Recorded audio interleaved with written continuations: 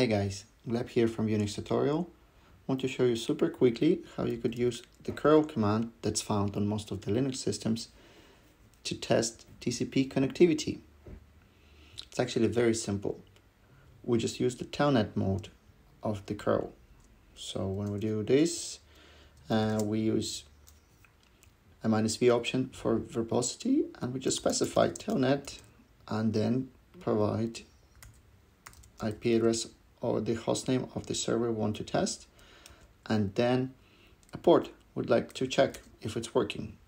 I have my SSH configured on this uh, particular server to be um, port 202 instead of the standard 22 and that's what I expect to see when I run the command. As you can see it connected it shows that um, it's successfully connected to port 202 and it even gives me a header from the SSH that confirms the version of the SSH daemon and also the platform. Probably not very good for security, uh, but it's an internal system, so I'm okay with that. Now, uh, it's not going to stop by itself, so you have to do Control C to break this. Uh, and let me just show you how it would look if we test some port that doesn't work. Uh, like I said, port 22, which is the standard SSH port for remote connection, isn't being configured on this server uh, for just an, a little bit of added security. So when I test port 22, it's actually not going to connect. And as you can see, it shows me that there is a connection refused, which means there are no issues. There is no firewall blocking my access. There is no routing issue. There is no problem connecting from where I'm testing this to the IP address that I specified, but that IP address is not listening and therefore actively refusing connections on port 22. Um, you obviously can test a website, any public website, just like unixtutorial.org. And if we try port 443, which is the one used for the HTTPS, um, this is going to connect successfully but not give us much useful information. So it says that it's connected to Unix tutorial on port 443, which is good. Um, my hosting provider listens on this port, but that's about it.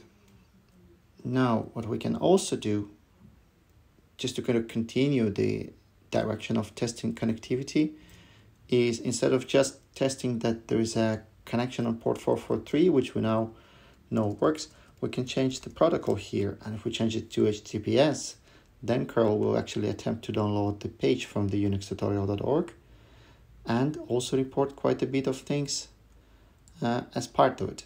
It's going to give us a lot of output, basically the whole source of the main page of my website. So um, don't worry about it.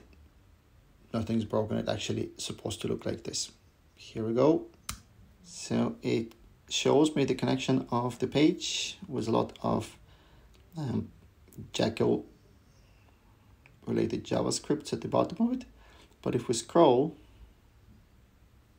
if we scroll to the start of where um, curl command was running, we should be able to see a little bit more of interesting information.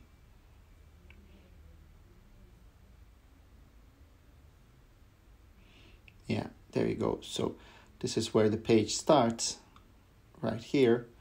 But before this we have all of these standard enough HTTP and HTTPS headers information about the TLS handshake. And basically yeah information confirming that server is serving HTTPS and it has a certificate that's actually a wildcard certificate for anything unixtutorial.org and that's just the auto-generated one that I have from the Cloudflare from the Cloudflare. That's it. So uh, that's how you test it. Obviously if you're interested in just um, the, the the headers part there is a, probably a much better way of doing it. Obviously if you're not interested in the content of the page you don't want to read all this HTML you could probably redirect it to some temporary file like this. And that would mean that you're just going to get information about the HTTPS connectivity and the HTTP codes the actual content of the page would go to that file that we specified. That's it for today. Thanks for stopping by. Hope you liked the video. Subscribe and I'll see you around. And by this I mean I'll see you on my Unix tutorial.org website.